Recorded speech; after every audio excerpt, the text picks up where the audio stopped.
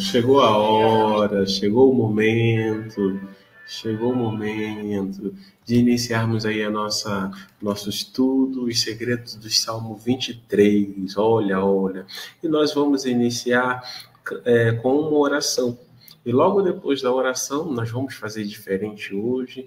Nós estaremos aí convidando o nosso irmão, o pastor Davidson Bingon, para já começar aí fazendo estudo, porque o estudo tem sido muito bom. Vamos orar? Deus, obrigado por essa manhã, obrigado por este dia, obrigado, Senhor, porque até aqui tu tens nos ajudado, tem nos fortalecido, tem nos entusiasmado e, e tem nos é, é, impulsionado a continuar caminhando, caminhando com alegria, te amando. Muito obrigado. Muito obrigado pelo dom da vida, muito obrigado, Senhor, pela oportunidade que o Senhor nos dá de acordar agora, pela manhã e já te adorar, já ouvir o Senhor falar através do canto dos passarinhos. Obrigado, Senhor Jesus. Obrigado pela salvação em, é, através da sua morte e ressurreição na cruz do Calvário. Querido, Deus, nós queremos é nesse momento apresentar este momento, é, apresentar, Senhor, o estudo a palavra que iremos receber. Pedimos ao Senhor que unge fale através do pastor Davidson. Pedimos ao Senhor que o Senhor também fale conosco, que o Senhor possa nos quebrantar, que o Senhor possa tirar tudo aquilo que de alguma maneira possa tirar a nossa atenção, para que possamos, Senhor, ouvir atentamente aquilo que o Senhor quer nos ensinar nesta manhã, e não só isso, pedimos ao Senhor que nos ajude, nos ajude, Senhor, a colocar em prática para a honra e glória do teu nome. Abençoa cada pessoa, cada amigo, cada irmão que estará assistindo. Abençoa, fale com cada um deles, é a minha oração. Em nome de Jesus. Amém. Queridos, deixa eu chamar aqui o pastor Davidson. Pastor Davidson, opa, cadê o senhor? Opa, opa, pastor Davidson. Opa, Aí, bom dia, shalom a todos. Shalom, bom dia. Tudo bem, pastor Davidson? Graças a Deus, tudo ótimo. Com todos é, vocês aí. Aqui tá um pouquinho frio, né? Não sei como é que tá a Aracruz aí, mas aqui no Rio de Janeiro tá bem frio. É, aqui não tá frio, não. Ontem caiu uma garoazinha, hoje amanheceu meio que nublado, mas o sol já tá aí, já tá saindo, já tá saindo. né? Quem sabe no decorrer da semana, do restante da semana, essa chuva chega aqui, né? Quem sabe? Não sabemos. Né? Queridos, deixa eu contar um segredo para vocês. Hoje, a esposa do pastor Davidson completa mais um ano de vida. Ó, parabéns para você nessa data querida. Muitas felicidades, muitos anos de vida. Amém. É a Márcia. A Márcia, Márcia que Deus abençoe, que Deus a fortaleça, que Deus continue é, é, dando a ela sabedoria e que Deus possa conceder aí é, muitas bênçãos nesse dia, tá bom? É, externe aí o nosso abraço, as nossas felicitações em nome da Igreja de Aracruz e em nome dos nossos, da nossa igreja virtual, digamos assim. Amém. Tá bom? Pastor Davidson, fique bem à vontade, tá? O tempo agora é contigo. Ótimo, muito obrigado, pastor Aderson. É, apenas lembrando né, que toda essa série é feita baseada nesse meu livro aqui, Revelações Originais do Salmo 23, que você pode fazer o contato e adquiri-lo para ter tudo isso registrado aí bonitinho, todas as lições espirituais, esses tesouros especiais, né? Todos do Salmo 23 na língua original. Também quero lembrar aos irmãos que estamos preparando uma série de estudos que vamos apresentar aqui também sobre esse meu outro livro aqui, A Ética do Casamento Judaico, explicando todos os valores éticos do casamento que começou né, na visão judaica e nós, como cristãos, assimilamos também. A nossa ética para o casamento e para a vida cristã também, ela é judaico-cristã. Portanto, ela passa primeiro pelo judaísmo e depois nós é, fizemos algumas adaptações dentro do cristianismo, e essa é a ética que nós temos né, para as nossas famílias, para o nosso casamento, enfim, para todos os temas que dizem respeito à família. Então, é uma grande alegria para mim também poder participar aqui e continuarmos né, com o nosso estudo. Hoje começamos a etapa final do, dos nossos estudos sobre o Salmo 23. Eu vou compartilhar a minha tela aqui. Deixa eu colocar aqui. Bom, é só agora o pastorado, é só isso, o pastorado você já liberou. Então você tem aqui a tela compartilhada com essa imagem aqui do versículo da semana passada que nós estudamos. Nós terminamos aqui o versículo 4 na semana passada, na semana passada. 4 de 6, né? São seis versículos no total que o Salmo 23 tem. Hoje vamos trabalhar o versículo 5 que é, começa uma nova imagem, uma nova metáfora que o Salmo 23 está trazendo. Mas vamos é, relembrar aqui o versículo 4 que vimos semana passada. Ainda que eu andasse pelo vale da sombra da morte, não temeria mal algum, porque tu estás comigo, a tua vara e o teu cajado me consolam. Então, estudamos aqui sobre o vale da sombra da morte, que é provavelmente um lugar é, real, identificado é, hoje pelo provavelmente pelo Vale do Cedron. Também falamos aqui sobre o modo como a ovelha está segura quando vê o seu pastor, e também é, ela está com ele, né? e também ela percebe na, nas mãos do pastor a vara e o cajado. Né? Aqui nós temos o cajado, nessa imagem aqui, né, do cajado na mão do pastor, que traz consolo, e a vara também traz consolo para ela, porque ela sabe que está sendo bem cuidada pelo pastor, que está perto dela sempre, e pelos instrumentos que o pastor usa para poder cuidar das ovelhas. Né?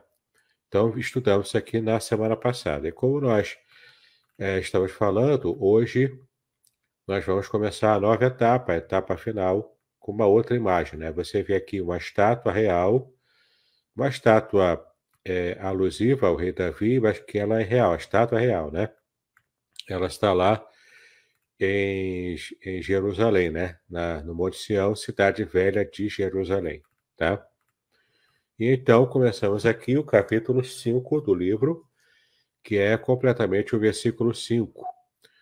E nós estamos então trabalhando nesse capítulo com essa, esse, esse, esse seguinte título, né? Deus é meu anfitrião, e amigo, como nós estamos estudando desde, na verdade, desde o primeiro versículo. Vocês devem estar se lembrando do primeiro episódio, do primeiro versículo, quando eu estive ensinando para vocês que a palavra pastor, na verdade, na língua hebraica, é o verbo pastorear. Então, é, literalmente, em hebraico, é o meu pastoreador, né? Que, que o salmista se refere a Deus. E trabalhamos então com essa imagem até a semana passada, com a imagem belíssima do pastor e das ovelhas. Na perspectiva da ovelha, né, que diz como que ela se sente sendo pastoreada por Deus como sendo o seu pastor. Agora então a imagem muda, mas ela muda tendo uma substância muito concreta no texto porque agora ele vai falar sobre o amigo. E, e lembre-se de que eu expliquei no primeiro versículo que a palavra raá para pastor, ela vem, ela tem uma raiz em comum com a palavra amigo. Então, amigo, companheiro, em hebraico é rei, é rei, que, a, que é uma, uma forma também de você entender a segunda parte dessa imagem, dessa metáfora que aparece no Salmo 23. Aqui no versículo 5, você vai então é, esquecer a imagem do pastor e das ovelhas e vai ficar só com uma dimensão da revelação da palavra pastor em hebraico, que é amigo. Essa raiz em comum com a palavra amigo, amigo ou companheiro, tá bom? Então, isso aqui vai ficar bastante claro quando começarmos a analisar o versículo 5 em todas as suas palavras. Então, estamos aqui com o versículo 5 na tela, nessa tradução interlinear, como nós temos feito até agora. Eu vou ler aqui é, em hebraico totalmente para vocês, depois vamos vendo palavra por palavra, tá bom? Então, taror Lefanai, Shulhan, Neget, Tsorerai, Dishanta, Bashemel, Roshi, Kosi, Revaiá.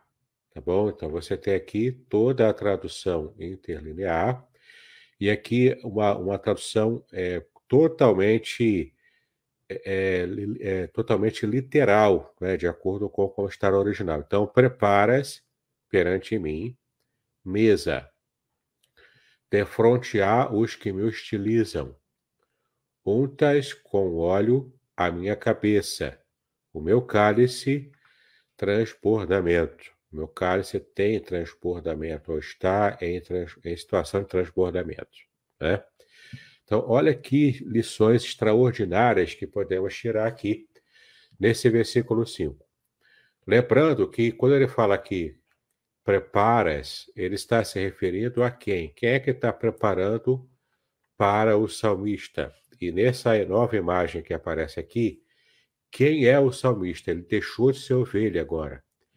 Ele passa a ser uma nova, um novo personagem nessa imagem, nessa história aqui. Não é? Então, antes de começar a destrinchar palavra por palavra, eu tenho que explicar para vocês uma situação de contexto antigo. No mundo bíblico antigo, os povos eram constantemente conquistados. Então, uma nação menor podia haver, por exemplo, uma outra nação expansionista, uma nação de um rei que tinha visão de expandir o seu próprio território. E então eles, eles, ele organizava seu exército e se ele era mais forte do que a nação que ele estava entrando para invadir, ele fazia lá os seus cálculos, entendia, né, mandando espias, é, é, entendia que podia invadir, que ele seria vencedor na guerra. Então ele fazia lá pelos seus cálculos, pela sua estimativa, pelo seu desejo de expansão do próprio território. Então esse rei de uma nação maior entrava no território da nação menor, sendo, é, sendo essa nação menor tendo cidades fortificadas ou não. Geralmente se tinha cidades fortificadas, com muros altos, com um exército ali em tocaia, 24 horas por dia, sete dias de, é, da semana, olhando, observando e percebendo se estivesse chegando o exército invasor, já daria o sinal para o exército da cidade que estava ali é se preparasse para poder se defender. Né? Então, o que acontece? Quando o exército invasor chegava na cidade invadida e conseguia conquistar essa cidade, é, essa nação não é, que estava sendo invadida, o que faria com o rei dessa nação se o rei não morresse na guerra? Né? Havia na guerra, o rei geralmente ficava numa posição estratégica para ele não morrer, ele e mais o, o, pessoal da corte real, né? o pessoal que faz parte da corte do rei. Então, o exército inimigo veio, invadiu, conquistou. Qual, o que, que acontecia depois? Acontecia uma situação de vassalagem. O que, que é uma situação de vassalagem? O rei conquistado sobrevivente se tornava rei vassalo do rei conquistador. Então, o rei Vassalo, ou seja, era um rei, é como se fosse um rei servo, um rei subjugado ao rei maior, que era o conquistador. O rei conquistador, então, dependendo da postura dele perante os, o povo que ele conquistou, ele podia ter uma, uma característica mais benevolente a esse povo conquistado, o povo que se torna escravo né, desse rei é, conquistador, e daí também aumentando né, a, a riqueza e, e, e, o poderio e também o, a localidade, né, no caso aqui a, o território desse rei conquistador, ele podia tratar bem ou podia tratar mal, vai depender do bel prazer de como o rei conquistador enxergava a situação de vitória, de conquista. Em geral, os povos antigos é, é, tinham essa, essa ideia, né, essa percepção no mundo de que tinha que tratar mal. de que tinha que tratar mal os escravos, né, aqueles povos conquistados. Em geral, essa era a ideia. É, você pode perceber isso na própria história de Israel, quando Israel foi conquistado pela Síria primeiro, que era um povo terrível, violento, é, é, tratava muito mal os povos conquistados, e também a Babilônia, com Nabucodonosor, quando também invadiu Jerusalém, destruiu tudo, acabou com, liber... com as liberdades de Jerusalém, levou o povo cativo e foi um período muito ruim, né? Também para Israel. Melhorou um pouco quando depois, mais tarde, Jerusalém foi conquistada por Ciro, que era ah, o rei medo-persa. Nesse, nesse período de Ciro, é interessante até que você pode ver que em Ezequiel, o profeta Ezequiel, ele, ele diz que Deus estava chamando Ciro como seu ungido, o seu Messias, né? porque a palavra ungido em hebraico é Mashiach, que é a mesma palavra para Messias. O ungido de Deus, um, um rei pagão que não conhecia o Senhor, mas foi tratado ali como ungido de Deus para poder conquistar é, Jerusalém da Babilônia, tirar o, remanescente fiel da, das garras da Babilônia. De fato, ele acaba com o Império Babilônio, mas trata bem os povos conquistados, porque na visão de Ciro, os povos conquistados é, deveriam ter um pouco mais de liberdade, para então ficarem mais felizes com a chegada de Ciro rejeitarem completamente, no caso, o Império Babilônico, e então é, seria mais, é, mais raro aquele sentimento de insatisfação e, portanto, de revolta. Era uma estratégia bem interessante que Ciro usou.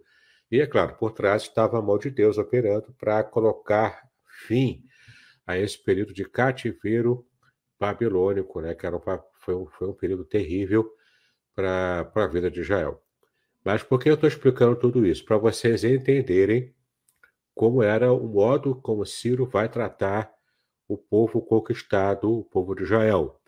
Ele vai ser benevolente, ele vai dar um, um édito de liberação para alguns grupos de judeus voltarem para Jerusalém, ele vai deixar reconstruírem a cidade, vai deixar reconstruírem um templo, ao contrário de Nabucodonosor, Ciro deu liberdade para o povo, inclusive, adorar ao seu próprio Deus, adorar a Yahweh, né?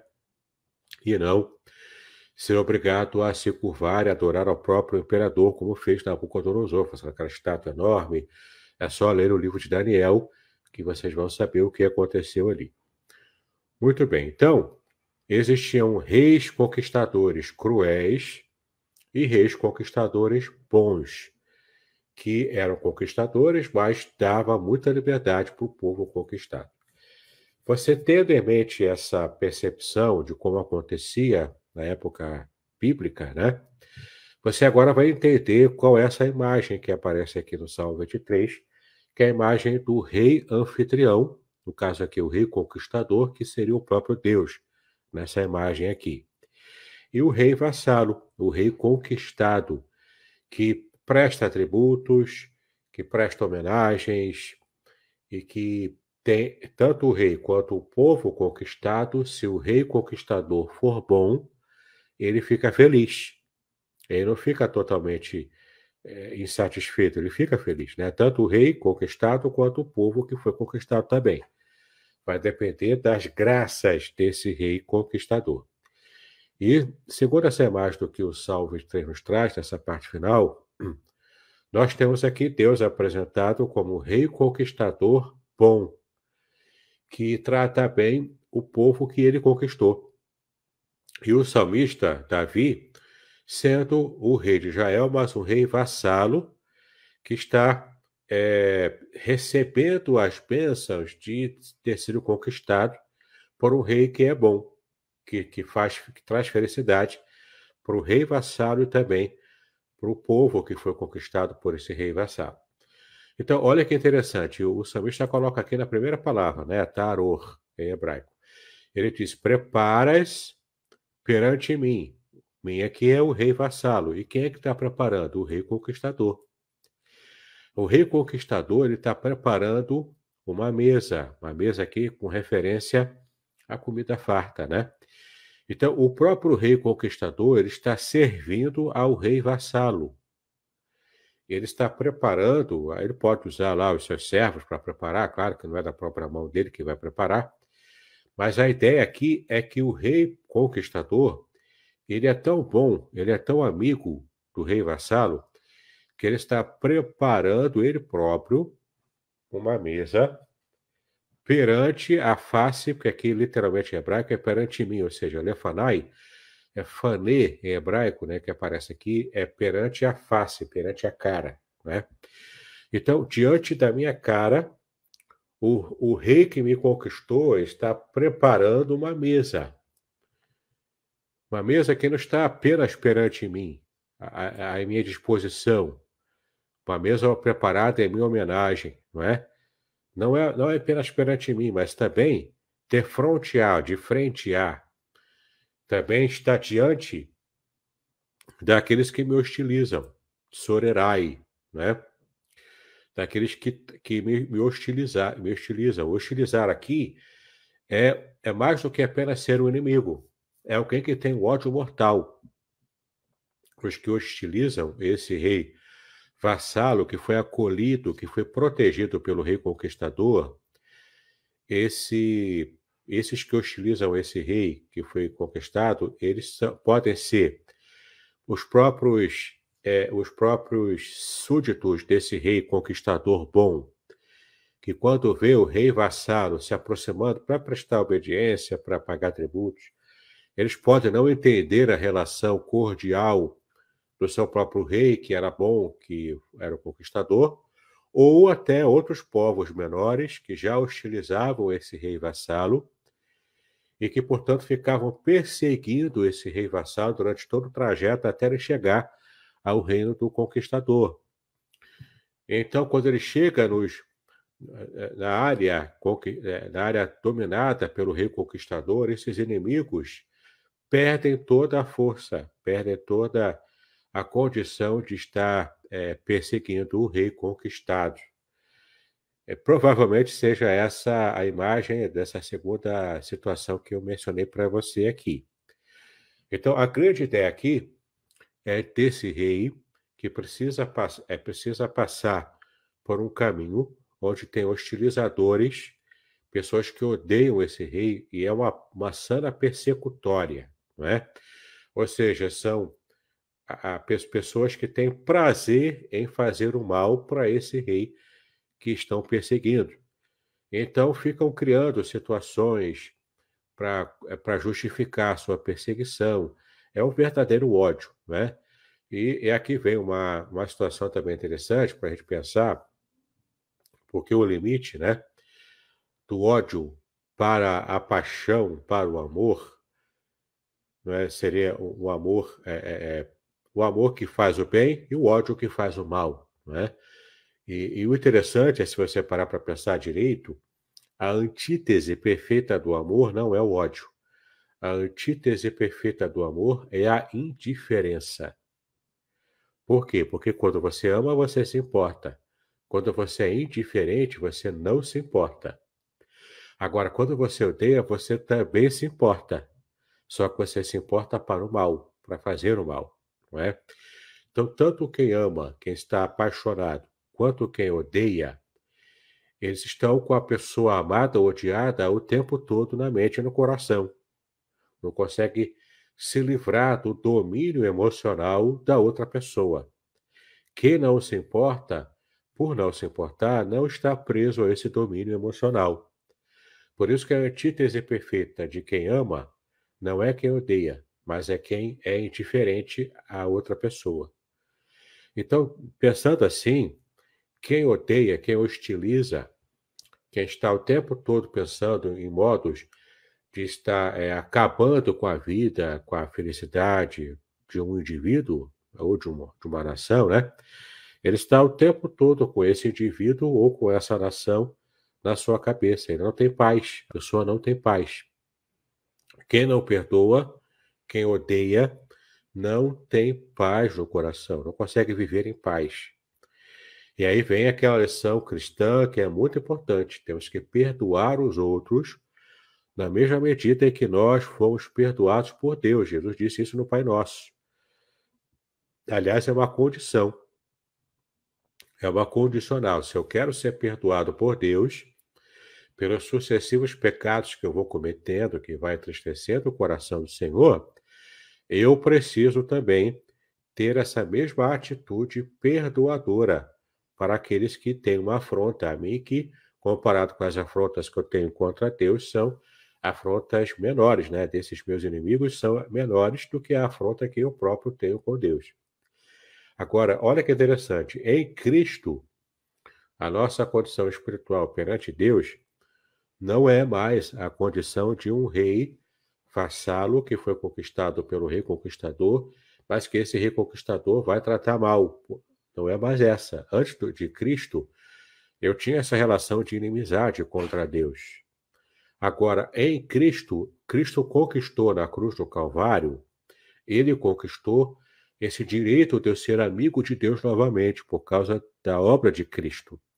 Então, eu passo a receber as bênçãos de um rei conquistado também, mas que é bem tratado pelo seu rei conquistador, pelo rei anfitrião. A tal ponto que o rei anfitrião prepara uma mesa farta, de comida farta, trazendo, então, é, selando essa amizade com o rei conquistado. Essa mesa farta que também traz proteção ao rei que estava sendo perseguido, chegando aos domínios do rei conquistador. Agora, olha que interessante também. Na cultura judaica antiga, o judeu não, não se alimenta, não participa da mesa do alimento com qualquer pessoa. Ele só abre a mesa, só faz um jantar, só faz um almoço aqui para quem ele tem amizade, para quem ele tem intimidade. Aí vem bem a proposta também falarmos sobre a, a noção é, judaica de chamar o outro de irmão. Porque às vezes a nossa cultura ocidental a gente não tem plenamente a dimensão quando chamamos o, o nosso irmão da igreja de irmão, não é? Para a gente é apenas um tratamento, muitas vezes. A gente está distante desse irmão, a gente, não, meio que não se importa muito né, com algumas situações que esse membro da igreja, da mesma igreja que eu, vai passar muitas vezes. A gente tem, na verdade, genuinamente, esse sentimento de distância por causa da nossa cultura. A nossa cultura ocidental é uma cultura que privilegia o individualismo. E daí vai descambar para é, é, esse personalismo, né? E também essa forma muito egoísta, né, de acontecer. Por isso que existem muitas pessoas egoístas na nossa sociedade ocidental. Mas é diferente, a incidência de egoísmo é menor na sociedade oriental, especialmente a antiga, na época bíblica. Por quê? Porque eles tinham essa noção de que o valor da pessoa está no modo como ela está inserida na comunidade. Eles tinham uma ideia comunitária muito mais forte do que nós temos hoje.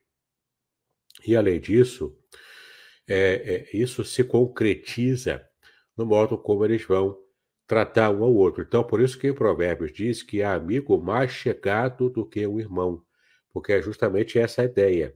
Um amigo que não é irmão de sangue, mas se ele for de fato amigo de alguém dentro da cultura judaica antiga, ele é tratado como se fosse um irmão de sangue. Isso pressupõe que esses, esses amigos chegados como irmãos, um realmente se importa com o outro. Vai tirar a mão é, do, do, dinheiro do próprio, do próprio bolso para ajudar o irmão, que é considerado irmão, como é, para realmente ver o bem-estar dele, quer de fato ver a felicidade, o bem-estar dessa pessoa, entendeu? É uma, é uma situação como se fosse realmente irmão de sangue que um quer o bem do outro. Essa é a ideia na cultura judaica. A gente perde um pouco disso na nossa cultura, mas é interessante a gente resgatar esse tipo de conceito, esse tipo de noção, para que a gente entenda, inclusive, o real sentido da vivência comunitária na igreja. Mas olha que interessante, esse rei conquistador aqui na imagem, ele se torna um amigo real, próximo, tratando o outro rei conquistado não como escravo, como era costume né, antigamente, mas tratando como se fosse um rei irmão, alguém tão próximo, como se fosse um irmão de sangue, não é? E a ponto de ele preparar uma mesa, não é? Não se preparava uma mesa para qualquer um. Se preparava uma mesa é, para pessoas que eram próximas, até por causa da lógica também daquela região lá em Israel, que era uma região desértica, a comida era difícil, a água era difícil, então você não vai desperdiçar recursos de comida mesmo para o rei, né? Você não vai desperdiçar recursos para dar comida para alguém que não tem amizade com você. Então ele está tratando aqui, na imagem aqui cultural, esse rei conquistado, ele não está enxergando o rei, aliás, o rei conquistador não está enxergando o rei conquistado como um escravo, mas como um amigo próximo, como um irmão de sangue, a ponto de tratar bem esse irmão de sangue, preparando uma mesa farta para ele, diante dele, porque é homenagem a esse rei conquistado, e também perante os inimigos dele, dando aqui essa ideia de proteção. Esse rei conquistado que veio de longe, ele está sendo protegido pelo rei conquistador. E por que, que o rei conquistado foi para os domínios do rei conquistador? Para prestar relatório de como está, é, como está o reino conquistado, porque isso faz parte do contrato de vassalagem antigamente. Ele está prestando relatório, está levando também tributos. Esse era o motivo também pelo qual esse rei, durante o trajeto, ele podia ser perseguido por inimigos, né, por hostilizadores por causa desse, desses valores do tributo que ele está levando para entregar ao rei conquistado. Né? Então, aqui é uma relação boa de amizade entre conquistador e conquistado. Então, ele está sendo aqui protegido pelo rei conquistador diante dos seus inimigos, que estavam ali o tempo todo no encalço, tentando pegar o valor dos tributos e também tentando fazer o mal para esse rei que foi que teve a graça né, de ser conquistado por um outro rei, por uma outra nação, que tratava bem, tratava como amigo aqueles que conquistaram.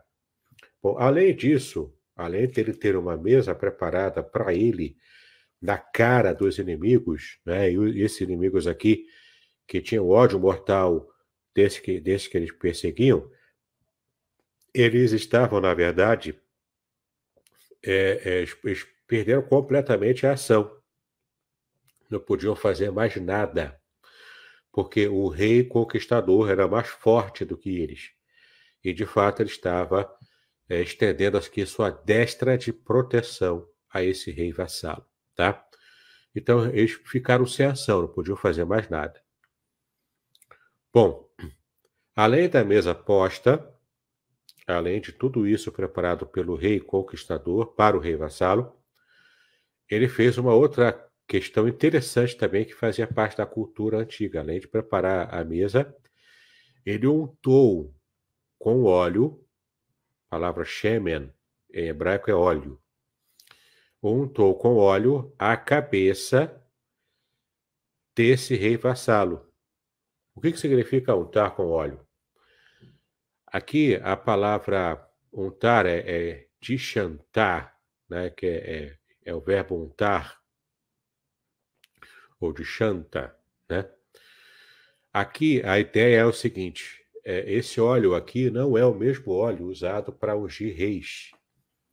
Não é o mesmo óleo usado com essa ideia de unção espiritual, ou com essa ideia um pouco mais espiritualizada que a gente dá a, a ideia da unção, não é? Não é essa palavra, porque se fosse para ser é, essa palavra não seria não seria é, de chantar. No caso aqui é, é, é né, que é o verbo untar. Não é teshen. Seria machar. Machar é ungir no sentido de ungir espiritual, ou ungir para uma função real, para um sacerdócio. Não é esse verbo que aparece aqui. Não, não é porque o, o verbo machar em hebraico dali ele é raiz que deriva a palavra Mashiach, que é Messias, ungido. Mas ungido na qualidade de rei, de profeta, de sacerdote, é com essa a unção, com essa ideia de espiritual, essa ideia espiritual, né? Com, com, com essa ideia mais, mais é, espiritual para uma função específica.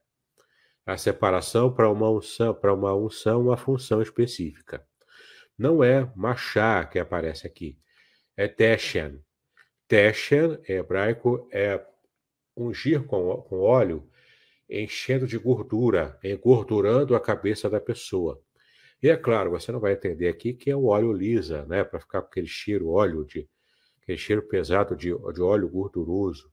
Embora se fosse um óleo gorduroso, mas aqui é um óleo aromático. É como se fazia o perfume antigamente. O perfume não era feito com álcool, como nós temos hoje os perfumes, né?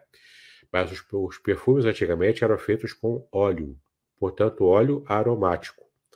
Era um óleo gorduroso, sim, mas aromático, que era o costume antigo de quando alguém, o anfitrião, oferecia um jantar, um almoço, geralmente era almoço, né, que oferecia para um amigo, que ia, portanto, participar desse banquete na presença do anfitrião, ele, primeiro, quando o, o convidado chegava, ele tinha os seus pés lavados,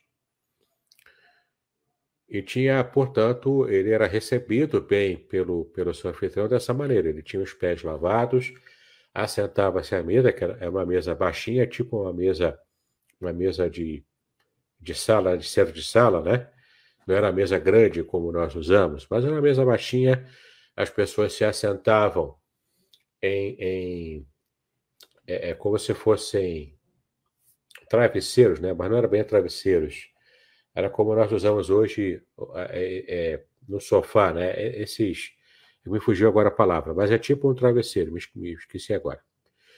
Mas eles colocam esses, travesseiros felpudos e as, pessoas, e as pessoas se reclinavam sobre é, é, esses travesseiros e ficavam lá pegando com a mão a comida, geralmente era a mão direita, era essa aqui, que pegava a comida e ia comendo. Né?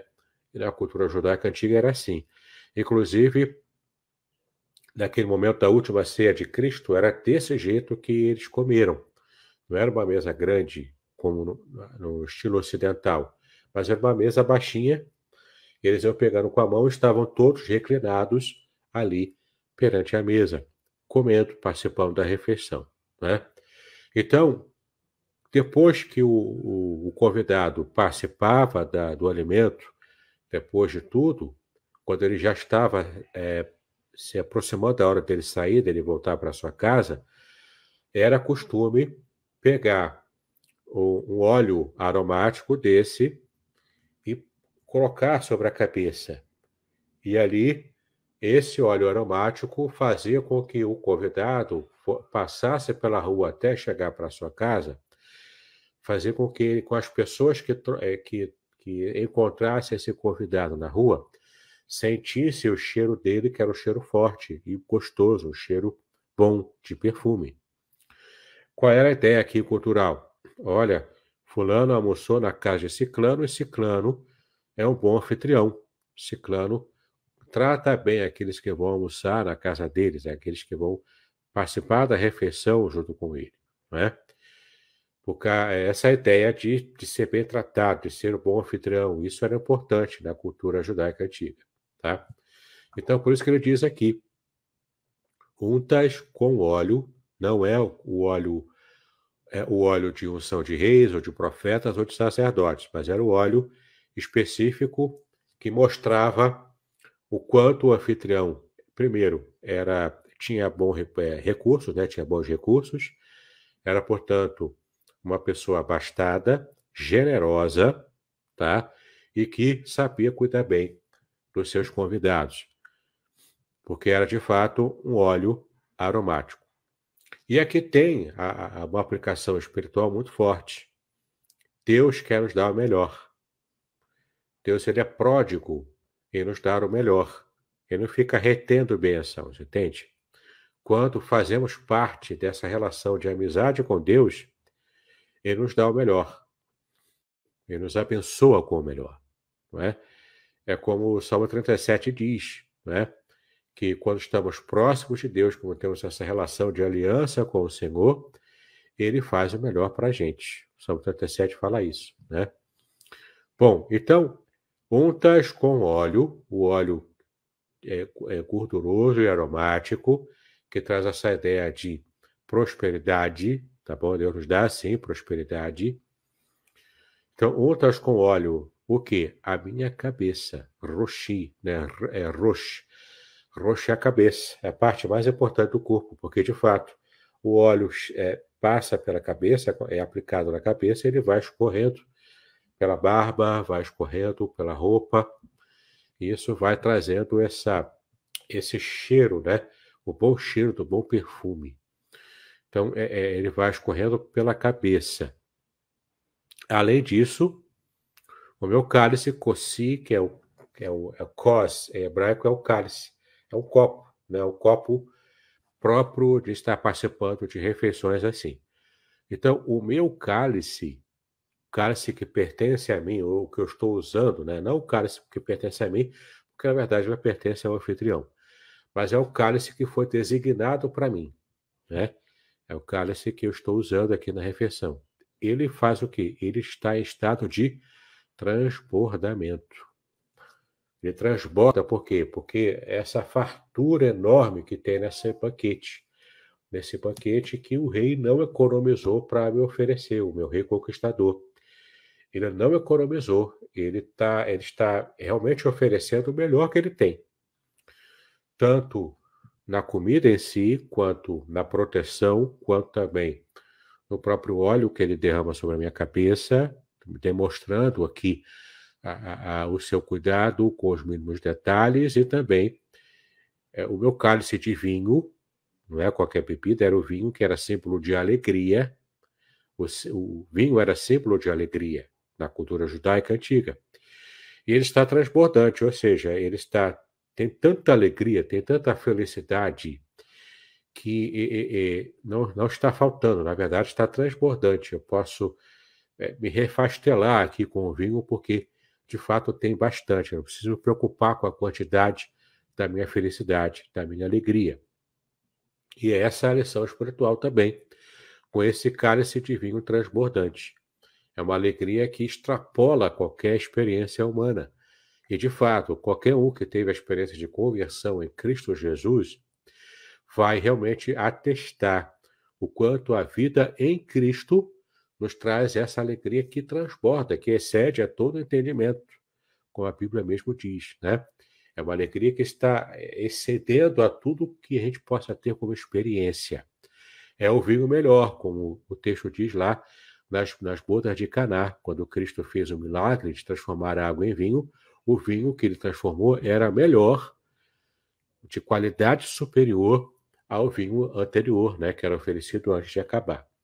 Então, é interessante a gente perceber aqui o quanto essa ideia do cálice cheio, transbordante, desse vinho maravilhoso, do nosso anfitrião, do nosso rei anfitrião, conquistador, que é um amigo, na verdade. É um amigo chegado, um amigo como se fosse o meu irmão.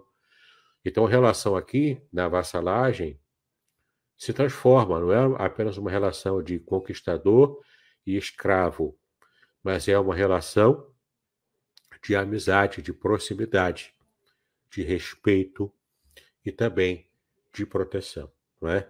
Então, é muito interessante a gente perceber nesse versículo 5, apenas nele, essas lições de riqueza espiritual que nós podemos tirar também para a nossa vida espiritual, no nosso relacionamento com Deus. Deus em Cristo se relaciona conosco como esse rei conquistador porque ele é rei, a sua conquista é real, ele é senhor absoluto da nossa vida, mas ele é um bom senhor, e essa relação que temos com ele é uma relação de bênção, que faz com que a gente queira estar de corpo e alma nessa relação, e não querendo fugir dela, não é? Mas a gente está realmente feliz, satisfeito, como na imagem anterior a ovelha estava né, com o seu pastor.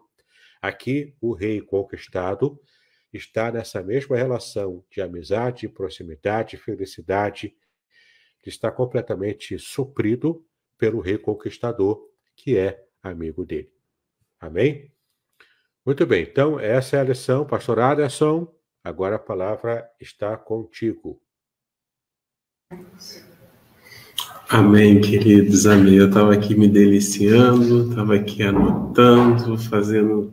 E eu confesso a vocês que eu me perdi nas minhas anotações, né? Eu não consegui acompanhar com o meu dedo. Tanta coisa boa, tanta descoberta a respeito dessa imagem, né? Que é, é, é tratada aí a partir do versículo de número 5. Eu gostei muito a respeito das explicações, né? que fazem um sentido, rei vassalo, rei conquistado e tudo mais, né?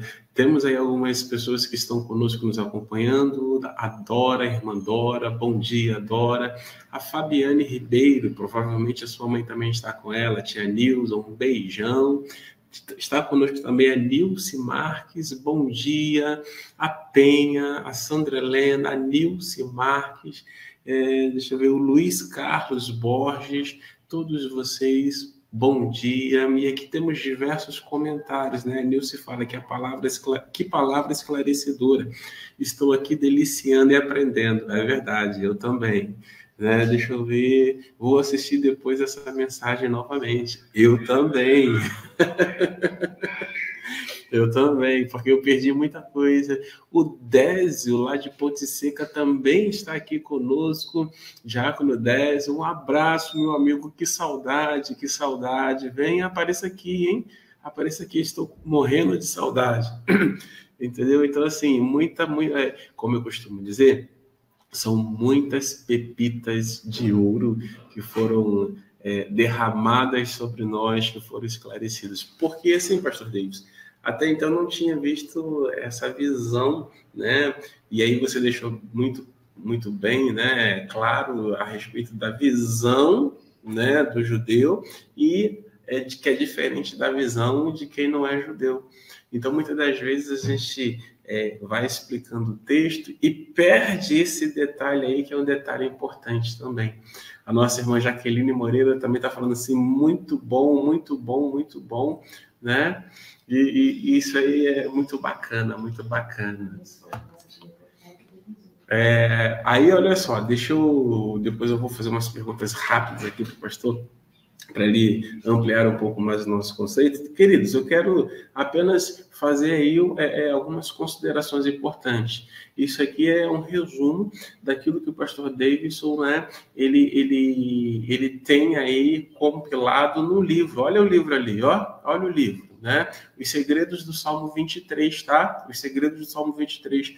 Nesse livro você vai ter muito mais informações do que essa que ele passou, porque ele teve que resumir, ele teve que pegar algumas coisas importantes para justamente é, poder compartilhar conosco na nossa live.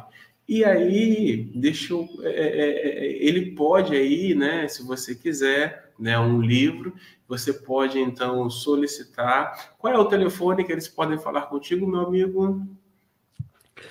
É, vocês podem fazer encomenda pelo telefone 021 aqui no Rio de Janeiro, né, no WhatsApp 021 998 585402. Vou repetir, 021 998 585402. E aproveita também, não sei se eu posso falar aqui, pastor Aderson, mas é, o pastor Aderson parece que vai, virá hoje aqui para o Rio de Janeiro, não é isso? É, esse final de semana. Esse final de semana, então. Caso queiram, encomendem a ele, eu já faço aqui a, a dedicatória, ele já leva para te entregar aí, em Aracruz, é, sem você pagar o frete, que aí já, você já economiza né, no frete. Então, conversa com ele, aí ele, eu vou passar meu Pix, e você faz o, o, a, o depósito direto no Pix ali, e eu já mando por ele. Eu vou, tá, vou dar um jeito de entregar ele também outro material. E então você pode encomendar e, e, quem sabe você já compra o livro sem precisar é, investir no frete, o que já barateia bastante, né? E, e o pastorado só vai, parece que ele está interessado nesse livro aqui, ó, nesse meu outro livro, A Ética do Casamento Judaico. Né? Ele já vai querer levar também o mesmo valor. Se você também quiser esse livro também, pode conversar com o pastor Aderson. E nessa, nesse fim de semana que ele vem para cá, ele leva para você aí em Aracruz. Ok? Então, ó, hashtag fica a dica, hein? Hashtag fica a dica aí. Aproveite, não vou cobrar nada, não vou cobrar lanche, não vou cobrar nada, hein? Vai vir de graça, graça, ó. Não é, não é, não é a todo tempo que nós temos essa oportunidade. E aí, pastor Davis, eu, à medida que meu irmão foi expondo aí, eu achei muito interessante essa questão que o irmão falou, tudo, na verdade, tudo eu achei interessante. Mas é. eu achei interessante essa questão do óleo sendo derramado, né? Transbordando, né? E aí, aí é o cálice, é o cálice de vinho cálice, né? transbordante né? e o é, óleo sendo derramado para é, se expandir né, pelo corpo do, do convidado. Isso era sinônimo de, de, de, que o anfitrião ele é atencioso, de que ele também é, é próspero, né? É abençoar. Nossa, e aí, queridos, olha só. Ele já falou mais uma vez e eu acho que convém aqui a gente reforçar. Muitas das vezes nós é, precisamos nos aproximar de Deus entendendo que Ele tem bênçãos a nos dar. Não é com segundas intenções, não é, não, Ele tem bênçãos a nos dar. Só que eu também não posso deixar de mencionar, e o pastor Davidson depois ele pode falar até com mais propriedade, é que as bênçãos do Senhor, e a gente tem que ter cuidado para não só canalizá-las ou focar nas bênçãos materiais, não. Ele tem bênçãos assim que são, é, como é que eu vou dizer? Oi? Bênçãos espirituais, a Cris está aqui, né? Meu ponto de cola também. bênçãos é. espirituais, bênçãos materiais, ou seja, bênçãos em todas as dimensões. Então nós precisamos então tomar posse no sentido de nos aproximarmos de Deus e permitir que Deus nos abençoe em todas as direções. É isso mesmo, pastor Davidson? Isso, eu até estava me lembrando aqui, ó, aqui, ó, esse aqui é um exemplo de almofada, né? Eu esqueci a palavra almofada, é essa. Não é travesseiro, é almofada, né? Como essa aqui, que o, o anfitrião, né, ele preparava o jantar e as pessoas ficavam reclinadas para a mesa baixinha, uma mesa pequena, com os elementos né, do, do jantar ou do almoço ali, e eles reclinados sobre almofadas como essa para poder ficar ali próximo ao chão e comendo. Inclusive, a, a irmã Fabiane Almeida, né, tá, ela está comentando aqui que uma benção, o livro é maravilhoso. De fato, é, um beijo, Fabiane. Obrigado por estar aqui com a gente, né? E por que, que ela diz isso? Porque ela já leu, ela já comprou o livro, já leu, então ela está fazendo um testemunho aqui de, do quanto ela gostou né, do livro, que ela já leu tudo também. É verdade. A minha prima do coração, a Fabiane. então, queridos, olha, eu estou aqui, mas eu estou. Não sei se eu vou usar a palavra correta. Eu estou tanto tonto de tanto conhecimento, de tanto benefício, de tanto esclarecimento que eu recebi hoje nessa manhã. Concordo com a Nilce, vou ouvir mais uma vez para poder é, é, é, é fazer com permitir com que as palavras que foram ditas de fato possam permear e me encher. E eu quero te convidar a fazer o mesmo, mas não só assistir, a comprar também o livro do Pastor Davis. Aí talvez você me pergunte assim: Pois é, Pastor Anderson, eu perdi o, os outros episódios, vamos colocar assim, né, os outros versículos. Como é que eu faço? Eu tenho, você tem duas maneiras para poder ter acesso a esse conteúdo, tá bom? A primeira maneira é você ir na nossa página, visitar a nossa página, ser o nosso seguidor, e aí você vai olhando os outros versículos. Toda quarta-feira, né? Tem sido toda quarta-feira que nós estamos, que o pastor Davidson tem aí nos ensinado, nos esclarecido. E também você pode ir, aí você vai ter um mundo aos seus pés, né? Guardadas as proporções da minha fala. Você pode ir no canal do, do próprio pastor Davidson. Lá você não vai apenas encontrar esse estudo, esse conteúdo, mas vai também encontrar outros conteúdos. É isso mesmo, pastor Davidson? Estou certo? Isso, é no meu canal do YouTube, né? No Facebook, é no, no Facebook da, da página do Facebook da Igreja de Aracruz como você está agora aqui, né? Então você terá, você vai correndo lá uh, os posts, né, de cada semana e você vai vendo ali é, os episódios anteriores, né, dos versículos anteriores. Se você preferir, no meu canal do YouTube, ele já está também selecionado ali com o título, né, versículo por versículo. tem uma playlist, inclusive, no meu canal. Você pode acessar lá e nessa playlist você vai ver todos os episódios até agora. Né? Eu já vou preparar o de hoje para lançar amanhã de manhã, nesse mesmo horário lá. Então você já uhum. vai ter acesso lá no meu canal. E além né, desse material todo do Salmo 23, você vai ter acesso a quase 500 vídeos de estudos Nossa. bíblicos dos mais variados, todos é, voltados para exegese, usando hebraico, usando grego, tudo para estudo bíblico, não é? Tem, já tem quase 500 vídeos ali. Então, você pode aproveitar também esse material lá. Ok, então assim, isso aí são os recursos que o Senhor está nos beneficiando com a disponibilidade, com a generosidade do, do pastor Davidson em disponibilizar caminhos para que nós possamos é, ter acesso a estudo, aprender, né, esclarecer, né, que às vezes a gente tem, é, recebe uma informação e a gente, se não tomar cuidado, a gente acaba até transmitindo a informação de maneira equivocada.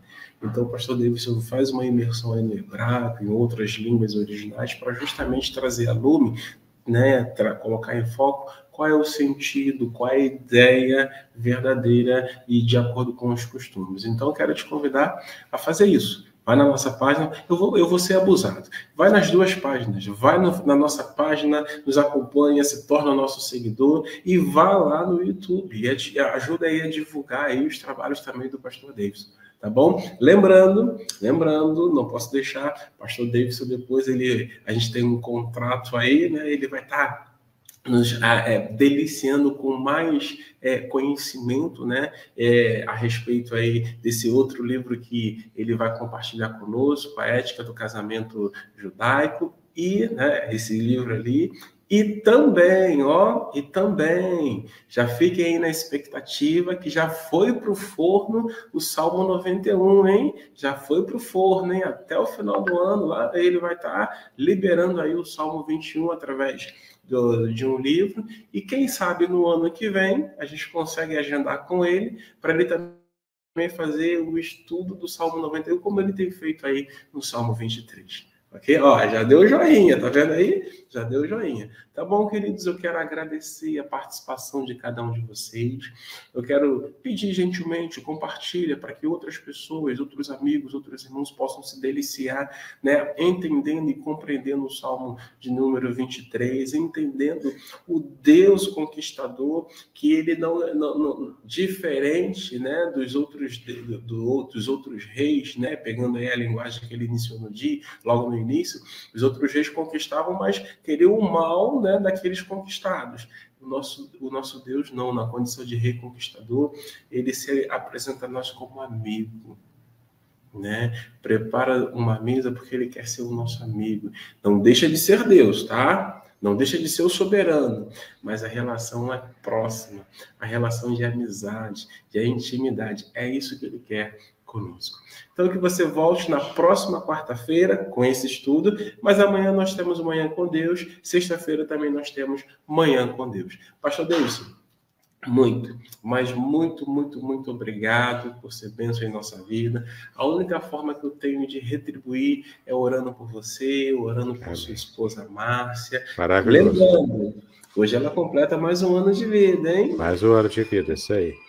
É, então, muito obrigado. Vou pedir ao pastor para fazer suas considerações finais e também depois Sim. orar por nós. Pode ser? Amém. Para mim foi um prazer estar com vocês novamente. Acordar cedinho, né? Nesse friozinho, mas é bom. É gostoso a gente realmente estar na palavra desde muito cedo. Né? Então, obrigado pela atenção de todos. E quem quiser os livros, né, é só fazer contato. Quem sabe o pastor Aderson já já leva para Aracruz e você pode, então, ter acesso a todo esse material, tá bom? Tanto do Salmo 23, quanto também a ética do casamento judaico. Você pode fazer esse contato aí. Deus nos abençoe e até semana que vem com o último versículo do Salmo 23. Vamos orar então, para a gente encerrar? Nós te exaltamos pelo privilégio que tivemos de mais uma quarta-feira, Senhor, nas primeiras horas da manhã, estudarmos a tua palavra, termos acesso a um conhecimento bíblico com profundidade, Nós te exaltamos porque também tem lições espirituais extraordinárias para a nossa vida e o quanto nós temos esse privilégio de servirmos a um Deus que é nosso amigo, que nos ama, que nos abençoa, que quer o melhor para cada um de nós. Nós te exaltamos por isso, porque de fato é um privilégio que nós temos, privilégio esse que foi completamente alcançado pelo nosso Senhor Jesus Cristo na cruz do Calvário. Então, nos abençoa ainda no dia de hoje, que possamos ter um dia extraordinário na tua presença. É, também o teu servo pastor Aderson, a Cris, todos os irmãos da Igreja Congregacional de Aracruz, que a tua bênção seja sobre eles também, nesse ministério e nesse esforço, Senhor, de estar em contato com as pessoas, tanto localmente presencialmente, como também virtualmente. Que a tua bênção seja sobre eles e sobre cada um de nós. Assim nós te exaltamos, em nome de Jesus, hoje para todos sempre. Amém e amém.